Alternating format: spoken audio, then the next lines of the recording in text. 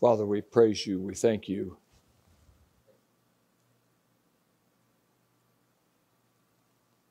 For living inside of us. You never leave us and you never forsake us. We forsake ourselves, but you never forsake us. You do exactly what you say you're going to do. If we will follow you and do what you say.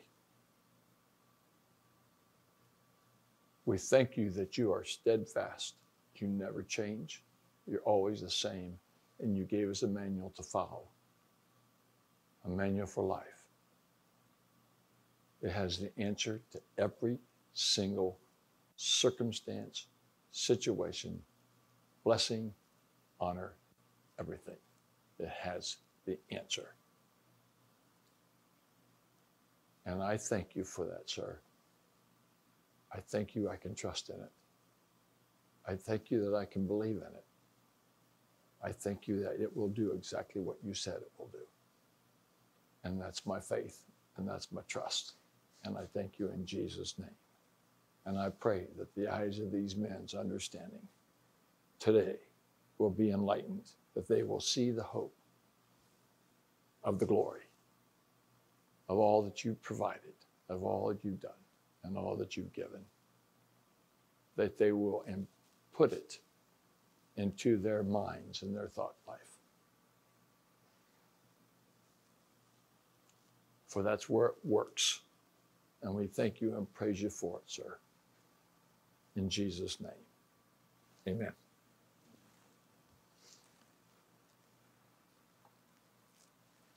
I think of some of you young fellows. I think of what my life was like when I was 30 years old. I thought about the hope that I had, the dream that I had, the plan that I had. 1975, I was 25. God actually wrote and spoke to me, and I wrote it down. I still have it in my file in my office here. What he said to me, what he told me to do. And I'm going to do everything I can to accomplish what he's directed me to do. And this is the hope that I have for you guys. And for you older men, you should be dreaming dreams. You should be having plans not to go to the boneyard where you die, but to do something for God. You need to know and be hungry for the thing that God has put in you to do before you were ever conceived in the womb. Do you know what that is? Have you guys taken the time and fast and prayed? Say, God, what is it that you wanted me to do? What is it you directed my paths to do? What is it you showed me to get involved with? What is it you've asked me to accomplish? Every single person that's ever born has that gift in them. You know, when you got somebody that's beat up and downtrodden, don't throw them under the rug. Walk up to them and grab a hold of them and say, don't say, God misses you.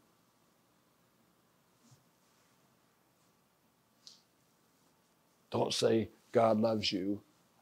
you know how much of that they've heard?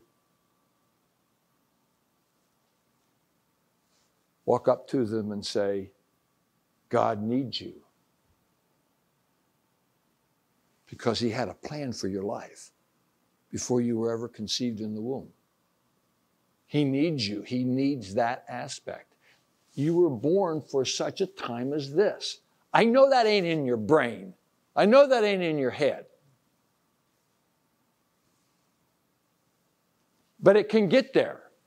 But it isn't going to get there waiting for it. It's going to get there by you doing something about it. Because faith comes by hearing, and hearing by the Word of God. There's no other way. That's how I did it when I was 30 years old, when I was 25. I didn't know nothing. I barely knew my name.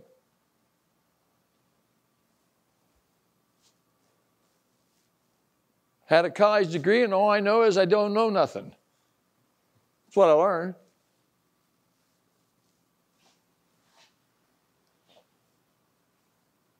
The more I learned, the more I realized I didn't know nothing. You know why? Because real knowledge comes from the Word of God. You want to learn something value? It's always going to be another scientist, another doctor, another doctorate educator. There's always going to be those people. But man, they don't have what the believer has unless they are one. Because the knowledge of God is the knowledge of the universe.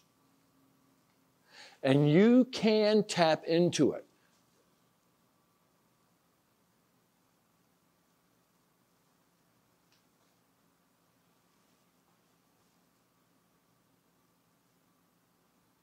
You know, I remember years ago, I was pretty young. I watched, I watched the movie. And these guys were fighting one another. And I'm not sure what the fight was all about, but they, when I say fight, they were in, at war. They weren't just a couple of guys fighting in a ring or two neighbors that don't like each other. They were fighting a war and one of them was just blowing the daylights out of the other one and just firepower blowing down on the place where they're at and just blowing it all up. And when they walked over there, they had con- conquered them. And they said, Boy, we showed those guys. And these other guys were trying to be friends. But these guys didn't like them. And they wanted them out of their country, out of their place. And they just wanted to be friends. So the war began. And when they went over there, they pulled out, the, found this manual that was burnt. And it says the following is the answer to every disease, every issue in life, everything that will ever plague you. And then the rest was burnt.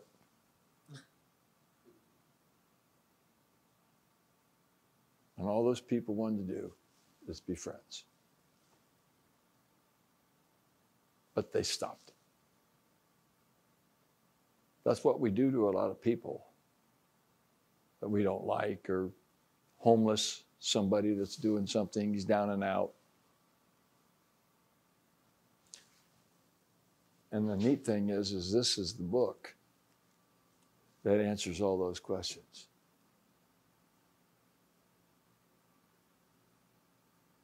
So don't go up to the guy and play mamby-pamby.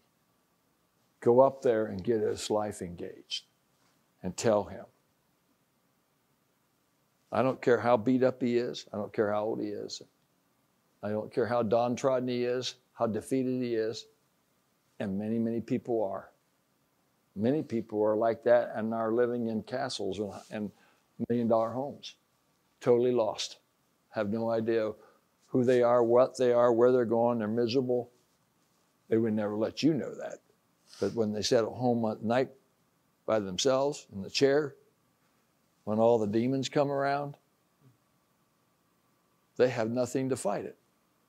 They have no power because they don't understand that we don't wrestle against flesh and blood, but against principalities, against powers, against rulers of darkness, against spiritual wickedness in high places. Therefore, put on the whole armor of God. They don't know anything about that. They won't take the time to listen to something that will give them life because they have no idea that this will bring them life. They don't believe it. They don't even look for it. They're not even interested in it. They've listened to the garbage all their life. You don't go up in there and say, God loves you. You're wasting your time. You got to give them something they can put their teeth into. How many people have you ever told that to? God has a plan for your life. and you're downtrodden and beat up, but God has a plan for your life and God misses you and He needs you. He needs you in the kingdom because you fulfill an integral part of what He's trying to do. But you're living in hell and you're living in, in, in ignorance. But you don't have to. God wrote a book about you. See what I'm saying? Give him something to believe in, some, give him something to hope in. It's hard to believe in saying God loves you because they spend all their life knowing, well, nobody loves me. Surely if God loves me, then why hasn't he done something? That's the argument you're going to get. If God could love me, and God can, and God's supposed to be all powerful, why hasn't He done something for me? Is that right?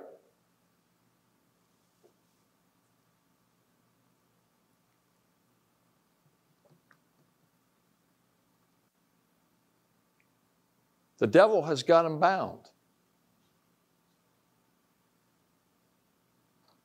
You know he's a liar, you know he's a deceiver, you know all the stuff about the devil, but they don't. They don't know who their enemy is. They think it's all the people that don't like them.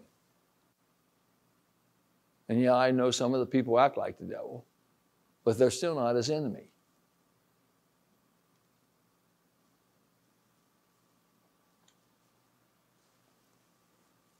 So I ask again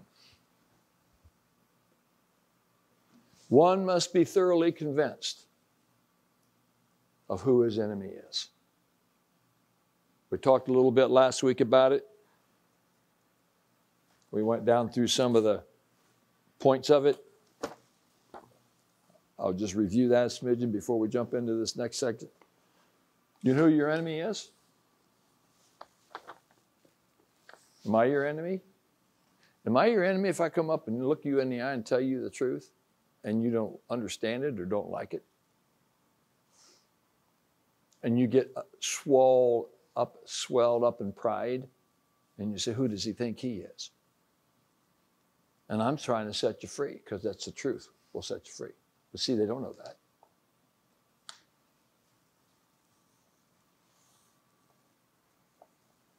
I have a friend I tried to do that with. I don't know if he's a friend. Not sure if I should call it that. I've been trying to get into his life for a long time. He's made a disaster out of his life. He's a Christian. I led him to the Lord. Doesn't live around here, but he now does. And I didn't know why. And one morning we were out for breakfast, not him, but me and another person. And he happened to be in the restaurant. Just happened to be in town. He comes over. Hey, just wanted to see what you old boys are doing. Well, he's in his high 60s. Well, anyways, he went back over and he thought maybe I didn't want to talk to him or something. But I told him, I said, why don't you just come over here and sit down with us? There's nothing wrong with that. Well, he came over and sat down. Now, I, I, I Talked to him two years ago, tried to talk to him. I looked him right in the eye and I told him the truth. And he said, You're out of your mind. I said, That's fine. I've been out of my mind for about 45 years, and I'm so thankful.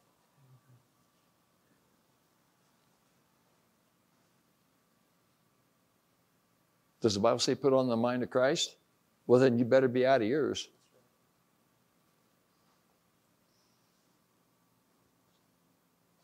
That's why nothing gets done. That's why nothing gets accomplished out here. They don't have the mind of Christ. They, they have it, but they don't walk in it. They don't believe it. When it speaks to them, they just throw it off as a hunch. Well, I don't think he wants me to do that. Why don't you go next door and tell your neighbor you're sorry for what you did? Well, that's not my fault. It was his fault. That's not what God's trying to get across to you. He's trying to get you to grow up. You know what? It doesn't matter whose fault it is. Ask for forgiveness. Get over there and do it. I don't care how right you think you are. You're never going to be as right as Jesus. And he don't treat you that way. You can be the ugliest thing this side of the planet. Pecos, I say. You can be as ugly as can be. And he's still standing there saying, Man, I love you, dude. I love you. Just get out there and make something happen. Do something big with your life. Hey, I don't believe Jesus. He just does this and blah, blah, blah. I don't believe this and I don't believe that. Oh man, he said, just keep going, son. Just keep, just keep at. He, that's how he talks to you. I'm not talking about how you talk to him. He never changes. He ain't there judging you, pointing the finger at you. All he see, all God sees is Jesus. He's the mediator between God and man. That's all God sees. He doesn't see you're ugly. He doesn't see you're stupid. He doesn't see your dumb things. He doesn't see any of that. He don't see your mistakes. All he sees is that book he wrote about you. And he'll encourage you and talk to you and speak to you all day long. And you can just act so ugly and even curse him and use his name in vain. And he says, Oh, just keep going, son. What? Are you out of your mind? So you don't know the love of God. I'm trying to teach it to you, and I'm trying to learn it all at the same time. I don't have all the answers, but I'm digging. I got a hydro hoe now I use. That's how I dig for it. Yeah, Big Bertha. One of you guys can use that thing. Dear me, that thing weighs like 45 million pounds or something like that. I'm saying there's a lot of stuff we do, we don't realize that we live like the world. That's all the stuff the world does. The world is constantly comparing themselves with themselves. The world is constantly in pride. It's hidden sometimes, but it's pride. Who do you think you are? I have all the answers. I mean, I listen to politicians and they lie out of their teeth, and it's like, can't they see what they're doing? Can't they see what they're saying? You know what? Some people believe it. Oh my gosh, yes. And some people say, Holy mackerel, how can you make a statement like that?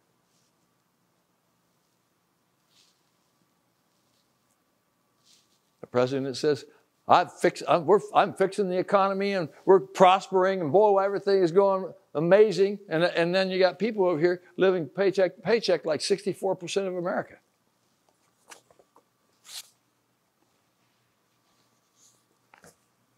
Let me tell you what demonic spirits are.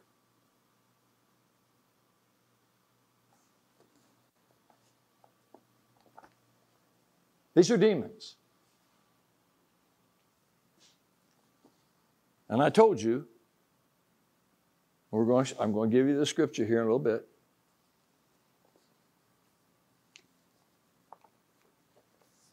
The demons are spirits that are lost forever. They come pre Noah from the people who were lost and could never be redeemed because they became hybrids. They were no longer human. They allowed themselves to do trans- transgender stuff. They're really messing around with some stuff they shouldn't be messing with. You shouldn't be doing it. I don't know when that is, when you cross over and it's too late.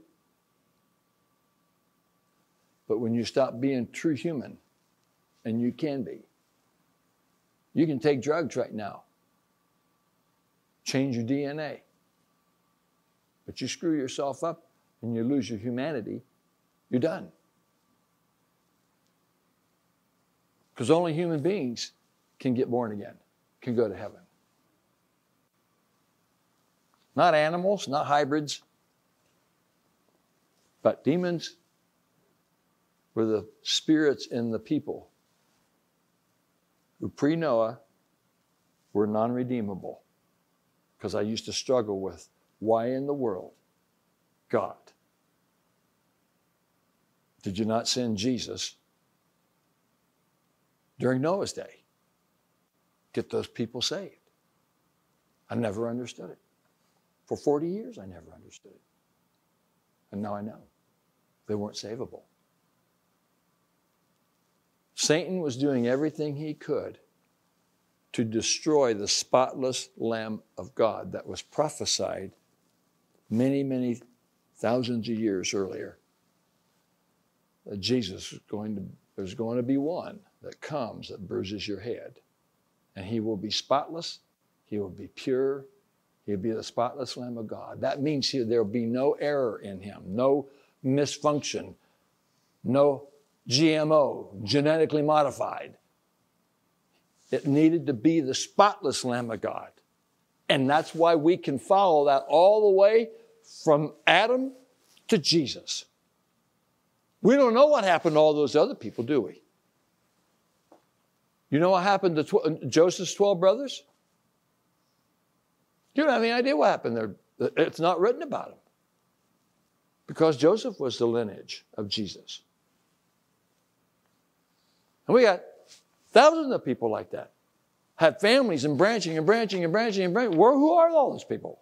They all, everybody here in this planet had to come from Adam. Then from Noah and one of his kids.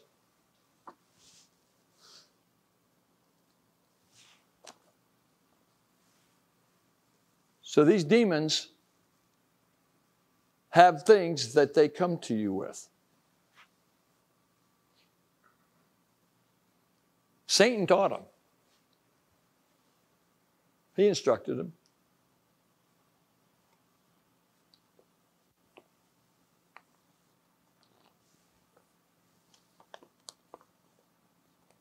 The angels came down and taught them. The fallen ones, the Nephilim. And Jesus had, the, they locked him up. They locked them all up, except Satan. He's the only one that's loose, according to Revelation. And I'll show it to you. But I want to talk to you about who these demons are and why it's important to know it. Because it's the way they get into your life. Do you understand me? This is the way they get into your life. First demon, worry.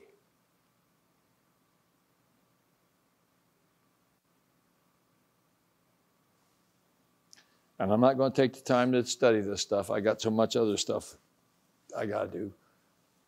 But you guys can figure that out on your own. Number two,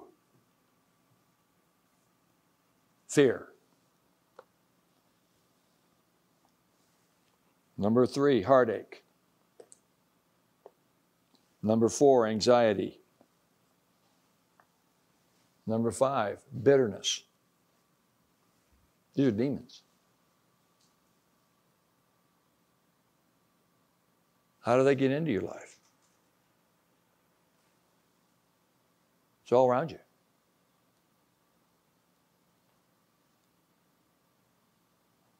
You've heard it, you talk to it, you listen to your parents talk it, they listen to their parents talk it, and they listen to their parents talk it, and it goes back 4,000 years, 5,000, 6,000. So that was, listen, what was released in the garden was good and evil. Do you understand? There was no evil in, in, in Adam and Eve's life until they decided to get the knowledge of good and evil. God didn't want them to have it, but He had to give them a choice. He had angels, they're robots. He created them. Every angel's created, but you're not created. Only Adam. And it was created, he was created in God's image. So you want to know what God looks like? I'm looking at it. Oh, there's a few features that make you a little different. But you're all you're the same. You're the same as everybody here. There's recognizable things. Maybe the two eyes, maybe they're blue instead of brown. Blue hair, brown hair, green hair. Bitterness. It's your demons. Stress. Failure. Hatred. Quitting. Lack. Impatience. Now I'm going to get serious.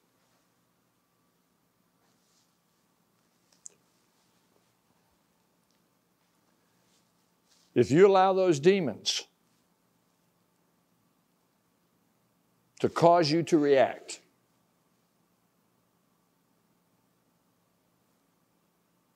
this is your fruit. Physical sickness, financial loss, relational destruction, failure at every corner, quitting, giving up, If you allow those demons access and you don't deal with it, they will take you down. Instead of living 120 years, we live 60. All because of that. And science even proves that. They don't understand it the way I just explained it. But they know that if you're anxious and you fear, it isn't long, and your mind is causing your body to secrete certain things in it, and that stuff that you're secreting in it is killing you. The devil knows this.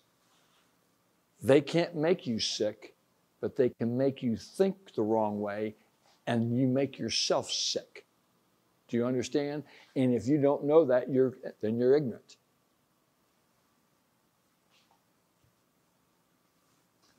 As a man thinketh in his heart, so is he.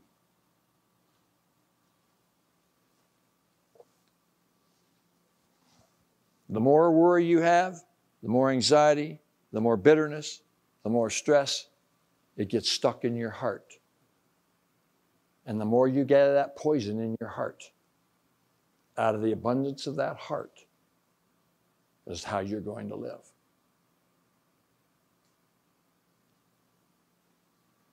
And it'll cause your mouth to talk a certain way. And that'll kill you. Because the power of life and death is in your tongue.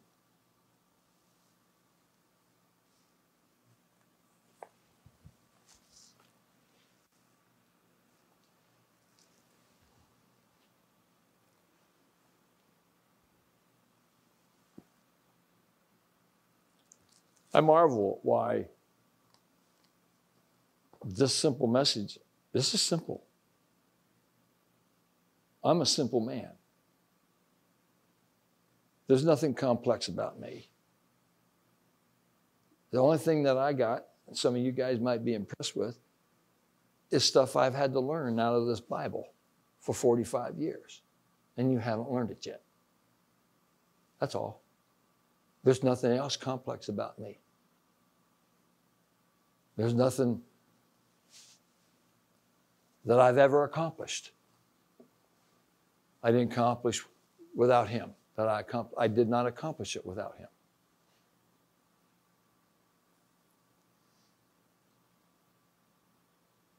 Many times I've turned down wealth, lots of it. One time, a million dollars.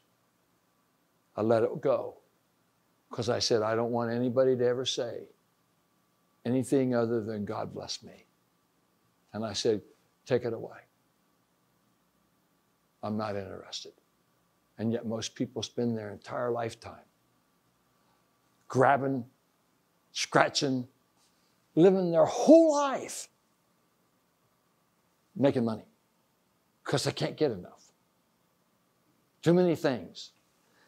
And in the process, they develop those principles, those spirits, because those spirits are around all of us. And they are constantly trying to get an inroad into your life. Now, what I'm going to talk about tonight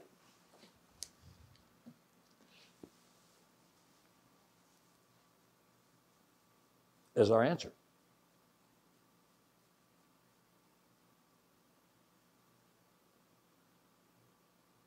Real simple, because I'm not really complicated. So whenever I come and talk to you, I'm very childlike. Because if you want to be great in God's kingdom, I don't care about this one.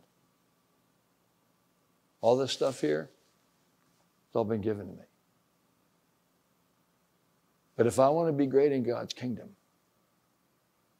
I have to be two things childlike and a servant. That's why it's not unheard of for me. When I have a waitress that does an amazing job, I've given them $200 tips. Some of you are so freaking tight, you wouldn't give that if the, the cows come home and somebody gave you 45 cows.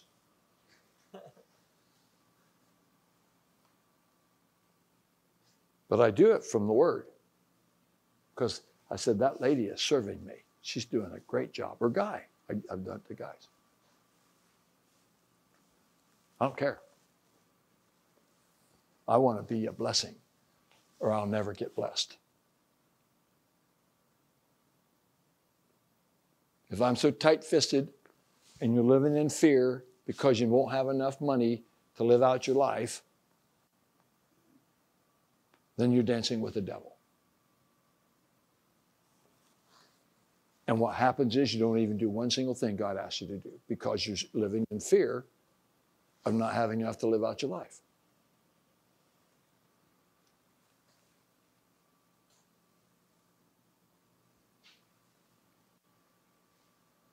I've been through the fire. I've been through, the time of testing. But I didn't sit in the fire and cry and whine and squall and bawl and say, God, why'd you put me here? You know what I did when I was in the fire? and all things give thanks, because this is the will of God in Christ Jesus. I would thank Him. Say, Father, I'm in this thing to be a better man. So show me how to do that. Show, if it takes 10 years, it's okay. Because only recently, with all these trials I've gone through in 40 some years, 50, almost 50 years, I talked to the Lord about it. And I've said this in here before. The Lord said to me, Your character is more important than your wealth. I said, I just want to be that man you wrote about. Nine months before May 22nd, 1949. I want to be that man. I want to be that. I want to be what's in that book. I haven't read it. It's probably in here somewhere. But I have something specifically written about me. And it's no better or different in a sense, or like as in better quality or something. It's exactly the same kind of thing because God knows how your mind works. I don't know how your mind works. I can talk to you and you guys can live together and do things. You still don't know how your mind works. You don't even know how your mind works. But God does. And those things that happen in your life are for the reasons that you need. Not me. I don't need it. You need it. Whatever that is. And if you learn to look at it from a perspective, I'm not talking about living like a pauper. I'm not talking about live, being sick or some of these other stupid things that the church people talk about. Well, God made me sick so I could learn something. God didn't make you sick to teach you. He doesn't need the sickness and disease to teach the church. The Bible says the Holy Spirit is there to teach the church. Man, how many times I heard that? That's ignorance going to seed.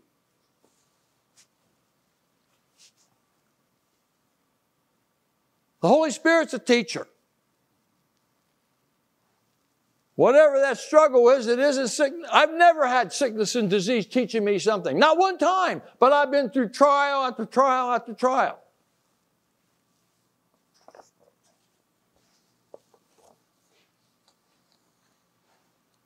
I've learned my patience from my trials.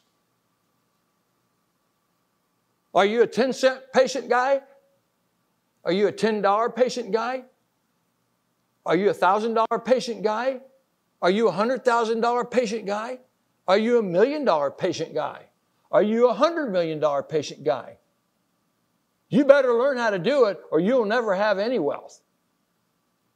Because you'll make the wrong decision every time you turn around. You'll be going the wrong way as fast as you know how to go. Most of the time, you got your tail between your legs, running like a scared dog.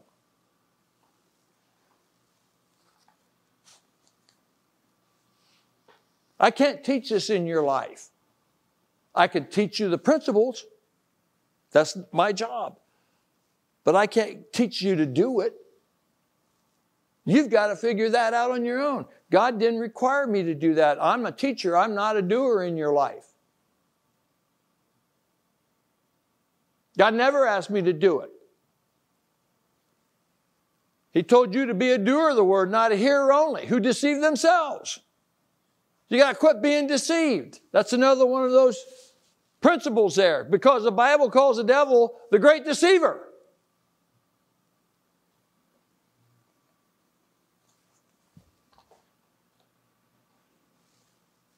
This is his greatest tool.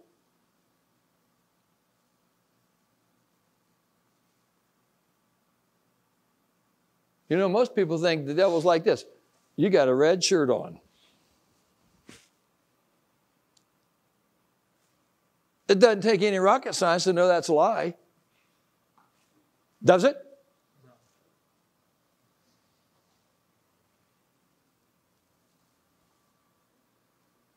But if I say tomorrow you're going to have a red shirt on, and what's going to happen is there's going to be a dog come out of the neighborhood and he's going to bite you in the leg. You think that's funny, wouldn't you? Well, how about you put that red shirt on and it happened? All of a sudden, it's not so funny anymore, is it? You'll kind of blow it off. Nah. That pain and that bite just kind of keep working on you.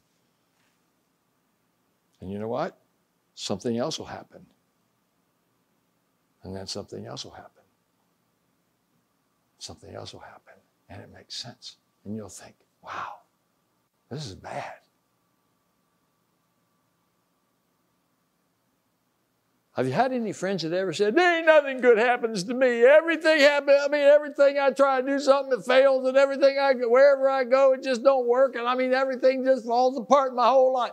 Ever had anybody talk to you like that?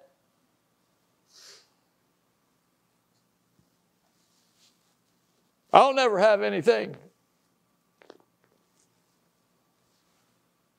That comes from this simple, stupid little illustration. They tried something that didn't seem like it worked, so they quit. Then they did it again and they quit. And then they did it again and they quit. And every time the spirit of failure, a demon, comes to you and says, Well, that ain't ever going to work. That's the dumbest thing you ever did. And you know when he speaks to you that? When you're waiting on that thing to happen that you're believing for. And from the time you start it to the time God has a plan for it to be over because He wants to build character in your life, that demon is going to come and He's going to tell you that you are stupid waiting for that thing to happen. It's never going to happen. You don't have the what it takes. You don't have any money. Well, that's a fool's errand. Why? You, you know, your, your dad and mom told you that's a dumb thing, or your buddy told you that's a stupid thing, or something else.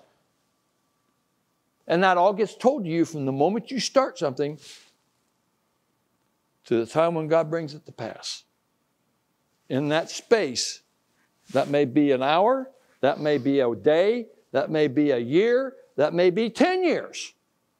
I've stood 10 years speaking every single day, sometimes 20 times a day.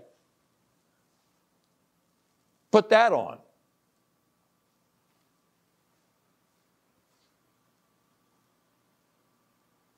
And can God trust me with places like this? Everybody says, oh, he's just got money. Look at all the money he's got. I mean, you know, I mean, they had, there was people saying things about me. Ah, Doyle, he's greedy and he just does this. They don't have any idea who I am. They just, they don't know where I've been, what I've gone through, the struggles I've had. All they think is I got more than they got, and I must have got it crooked.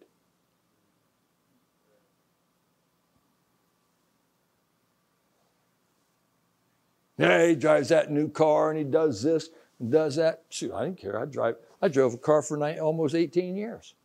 Had 300,000 miles or something like that. I don't even remember anymore. I didn't care. Because I come to the conclusion 40 years ago, I don't need to impress you, and I don't need to impress anybody. I don't care what you think. I knew I was going to get hassle. I knew I was going to get crap. I know people were going to talk behind my back. To be real honest with you, I've never one time had anybody look me in the eye and talk to me. Do you know that? Not one time. They all talk behind my back.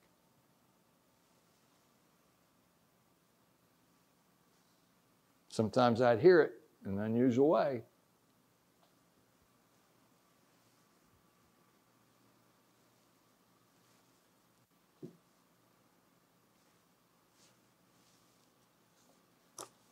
You know why? Because I take care of the devil every day. He's a thief. He comes to kill, steal, and destroy. Because God has a plan for your life, and He's doing everything He can to steal it from you.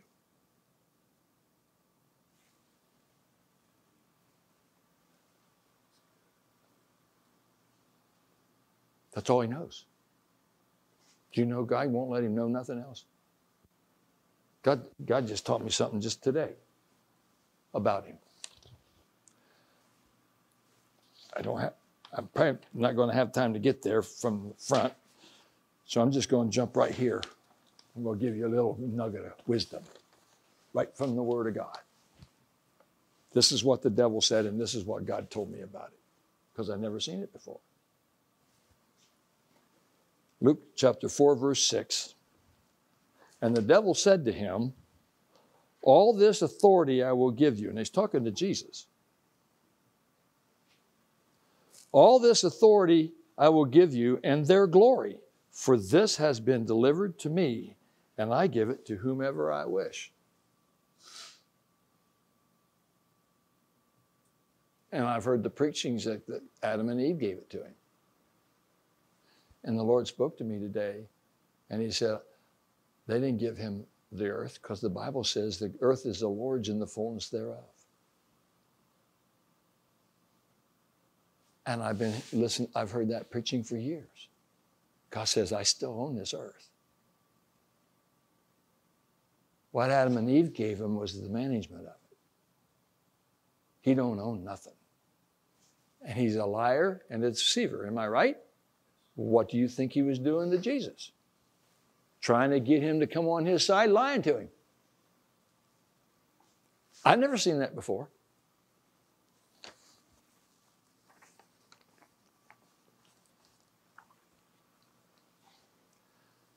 Isn't it confusing sometimes? You hear one thing about this and then about something about that. And then you watch David, he went around killing giants and killed, he wiped everything out. And yet, well, how did he do that if the devil had authority over it, if, if the devil was it, owned it? All he can do is manage the people that don't know Jesus and don't know God. He can't, he, he, he can't manage God's people.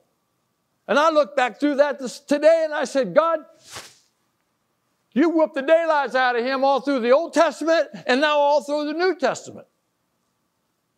He never has had that power and authority. He's a liar. He said that's all he knows how to do.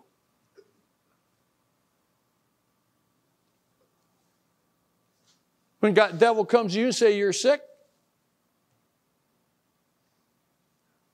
what do you do? I know how I feel. Oh man, isn't that pain in your stomach a really big deal? I mean, you probably got some kind of cancer in there. You better go get it checked out, dude.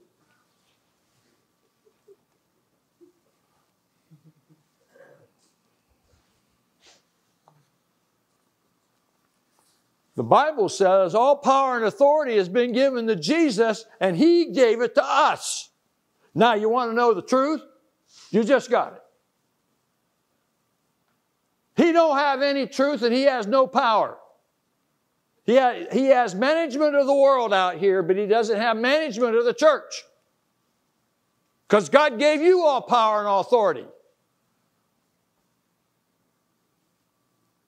That turkey shouldn't be taking anything from you. I don't care what it is.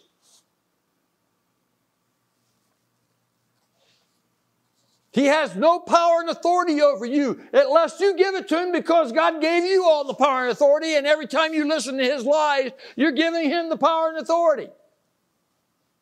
Not to everybody, but to you. You give him power and authority in your life. You aren't giving it to your wife, or you're not giving it to your friends or anybody else. You're giving it to you are giving the devil authority in your life when you buy into the things that he speaks to you and you listen to it and you believe it. You believe it because your whole past and all the experiences that you've had shows that, yep, you're absolutely a piece of crap and worthless.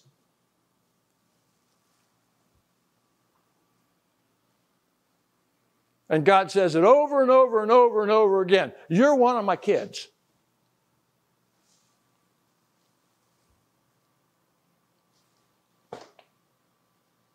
I wonder if Joseph Kennedy, who was one of the most famous guys in our past, he was the father of John and, and uh, Robert, and uh, who is the youngest one? Ted. I wonder if Joseph Kennedy, one of the neighbors come in and said, You're one of your kids is a piece of crap. He is as worthless as anything there is. What, what do you think Joseph would say? Oh, yeah. Yes, I'm just, he's just worthless. I just. Uh, I'll tell you, he'd get a real good whipping. And don't ever come back.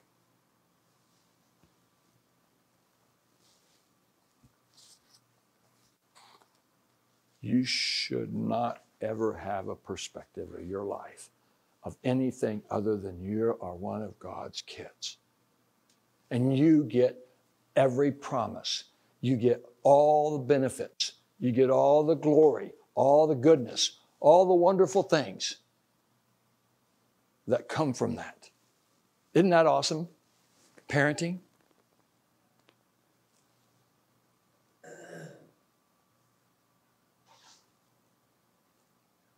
What kind of a parent would you be if you got three kids at home and they're both they're all three starving, they all don't have no clothes on, and you're taking all your money downtown to give it to the homeless?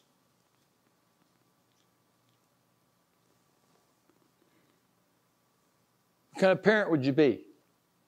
Let's get 10 neighbors lined up and let them know what you're doing, and let's get an opinion from 10 people. Do you think any of them would be on your side?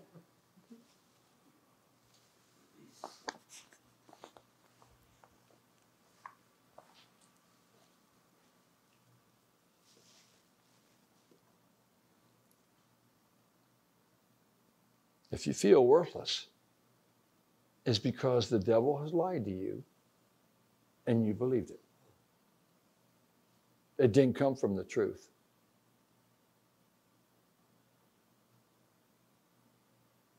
You can't find that in the Word of God.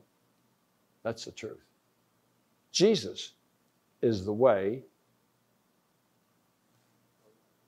the truth, and the life. No man comes to the Father except by Him. And where is He? Inside of you. That's why you have access. So don't get cocky. But you have it. And it can't be stolen from you. You can't lose it.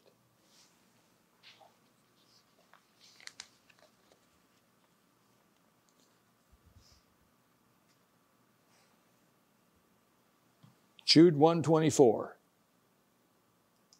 the TLB, the Living Bible. And now, all glory to him who alone is God, who saves us through Jesus Christ our Lord. Yes, splendor and majesty, all power and authority are his from the beginning. His they are, and his they will evermore be. Kind of leaves the devil out, don't it? It says, His they are, and His they will ever be. They were never put in the, the devil's hands. So don't let those preachers lie to you. He doesn't have all power and authority, he just has some management. And one day he's going to go get a paycheck and it's not going to be there to get because he's going to be gone. God's going to ship his saddle home.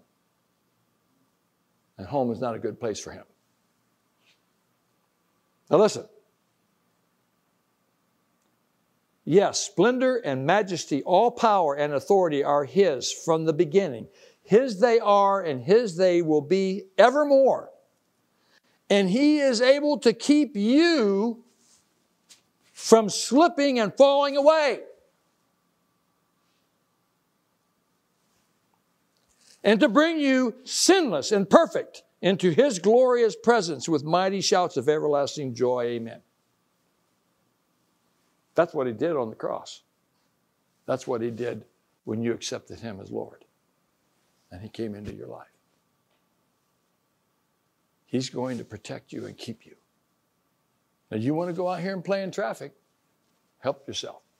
But I'll tell you, God will be try, screaming at you, yelling at you, talking to you, all the way there. And then you're going to get smashed with a car, and your spirit goes right to be with Jesus, and he'll say, Oh, man, come on in. Man, how do you lose in this deal? How do you lose? Your time here is just a vapor. But don't you want to uh, accomplish? You know, that's what I believe. I believe that's judgment day for the believer. I believe God's going to pull out that book he wrote and he's going to compare it to what you did. And and and you, if if he wrote just a few pages about you, and you completed those two pages, you'd be number one. And if he wrote 5,000 pages about Billy Graham, and he only completed six, you're going to the back.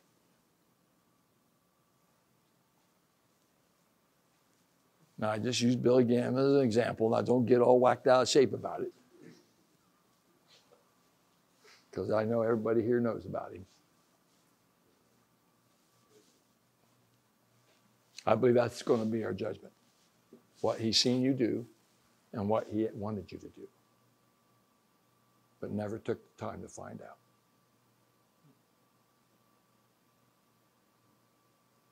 Because there's going to be a judgment of the believers. It's simple for the world.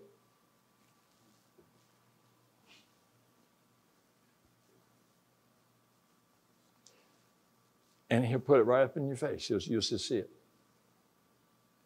You'll see it. I believe there's people in here that got amazing things. I've already done some amazing things, and I'm not done nothing.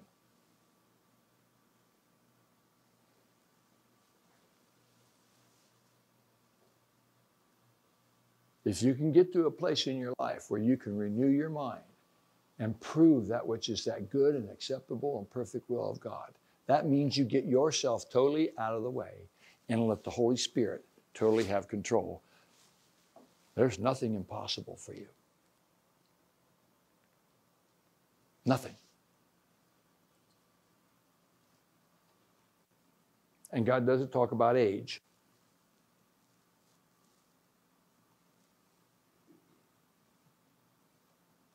But being lazy and slothful, those are all spirit things.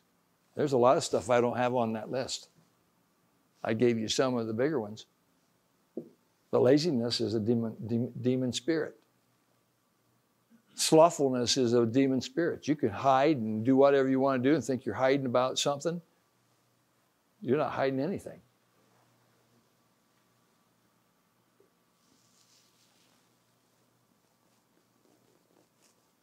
Look at this country. Probably one of the, the biggest things that's, that's hurting this country is, is just that laziness and slothfulness. And I'm talking about people that have jobs.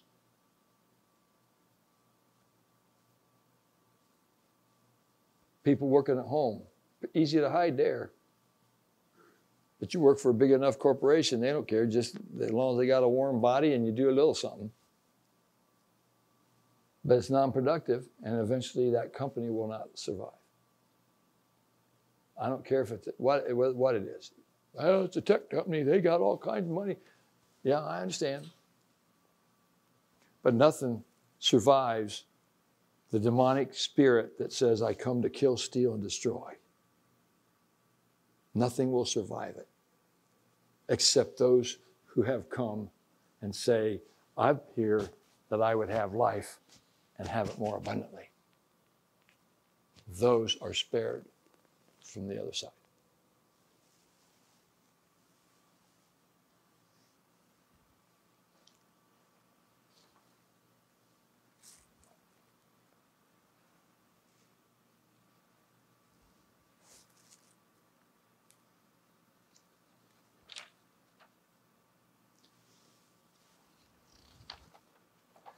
I'll finish up with this.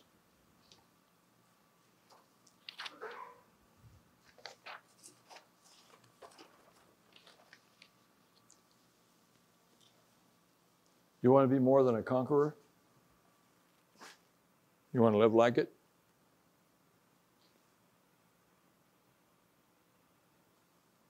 You know what boot camp is? Are you a conqueror when you get out of boot camp? You're not a trained soldier yet. You're just disciplined in fighting, but you haven't had no experience yet, right? A lot of difference from the day you got out of boot camp and the day you got out of Afghanistan. Am I right?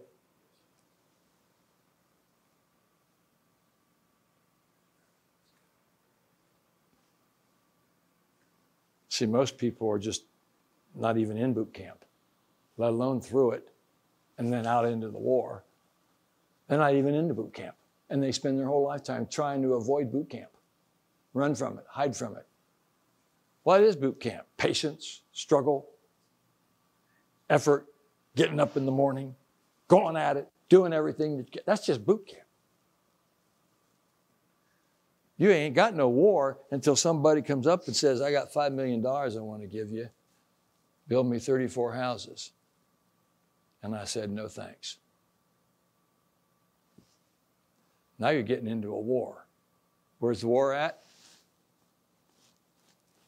Right here.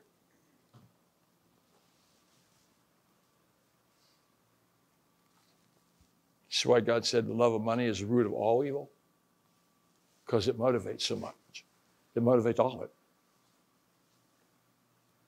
Just read the news, listen to the news, Watch what goes on in the friends around you and the people that you meet and all the stuff going on. But this is the key. You got to go to boot camp. You guys are in boot camp right now. Did you know that? Do you feel like you've been kicked in the rear end a few times? You're in boot camp right here. You can blow it off and lose everything you learned here. Go right back to the start. And you spend the rest of your life doing that, or at some point you just give up and don't even try anymore.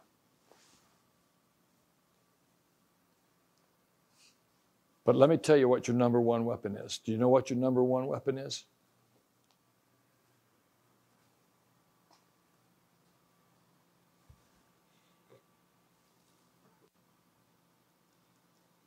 Love.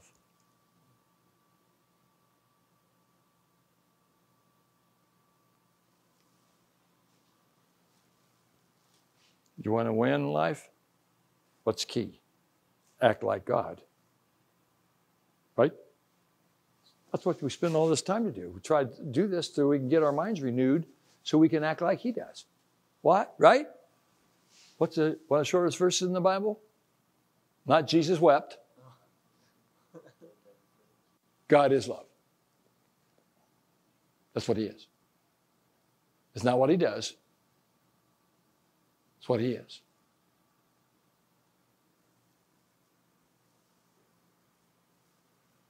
Every move he makes, everything he does, everything he thinks about. It's just love because all he is. He isn't anything else. Everything else comes out of that kindness, goodness, meekness, faith, patience, self discipline. That all comes out of love.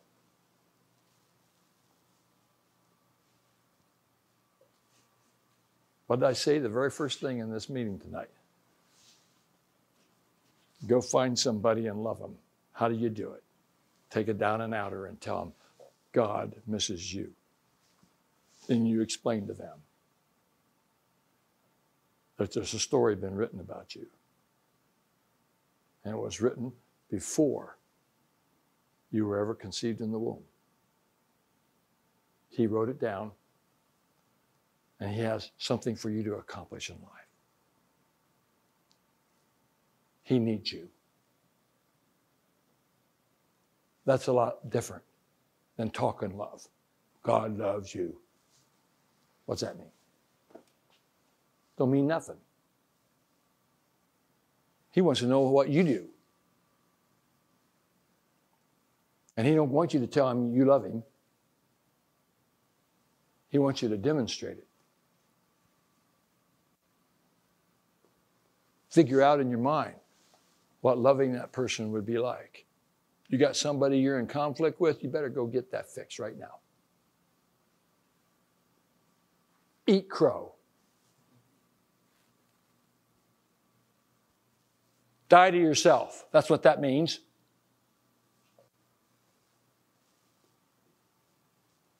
Go get it fixed. Get everything out of the life that you're living that stands between you and God's blessing in your life because God's waiting. He has certain rules and certain laws, and He won't violate it. I don't care how much you think you've deceived Him or somebody else or lied or whatever you've done. He has certain rules and certain principles that you have to follow. And love is your key.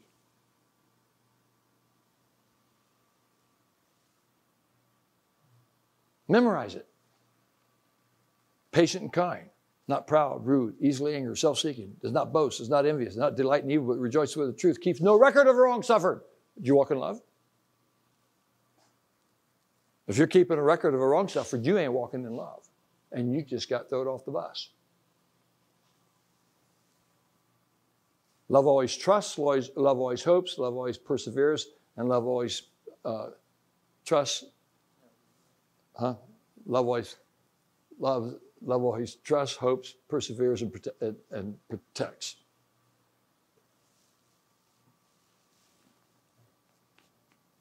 Is that how you're acting?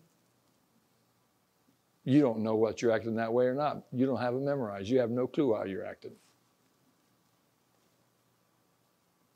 But the Bible says love never fails. You always want to win? Jeez, guys.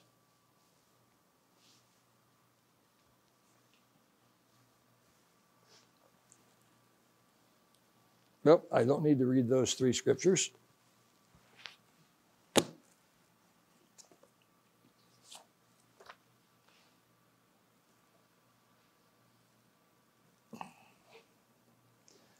God said this to me. He said, You need not ever have destruction of any form in your life ever again. Jesus' blood has paid the price for your redemption and has ransomed you out of the power of darkness and into his marvelous light. It is your responsibility to walk in it. He offers it to you every minute of every day. Have control where you are going and what you are accomplishing. Number six, Jesus and the Holy Spirit are right there loving you, supporting you, and speaking to you, just like I'm asking you to do to the homeless person or to your neighbor. He is doing that to you because He's love.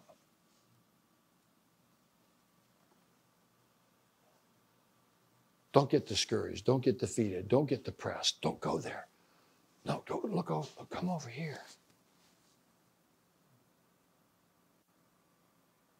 Love, joy, peace, gentleness, goodness, meekness, faith, patience, self discipline. Come over here.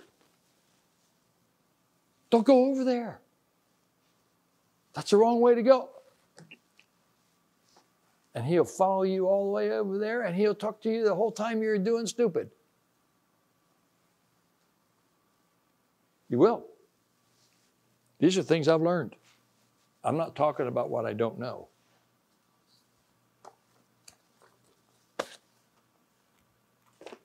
I'm telling you what I do know. That's the responsibility of a teacher. That's why most teachers are not teachers.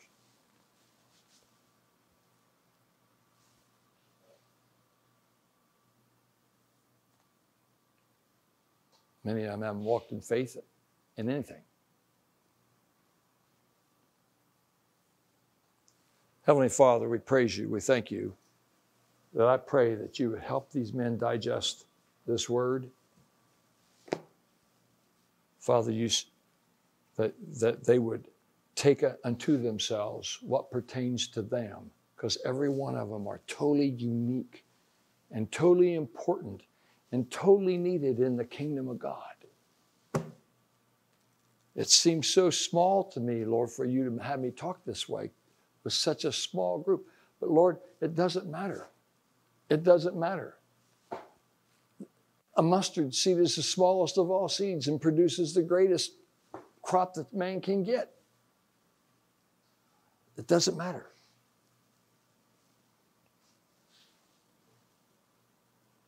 So, Father, I pray that they will water this seed that's been planted in their heart. I declare them good ground in Jesus' name. And as it grows, their blessing will multiply and they will be faithful in how to deal with their blessings and how to love with their actions and not with their words. We praise you for it, Father. You alone are worthy. You can you watch over your word to perform it. And I praise you and I thank you for it, sir. In the name of Jesus. Amen.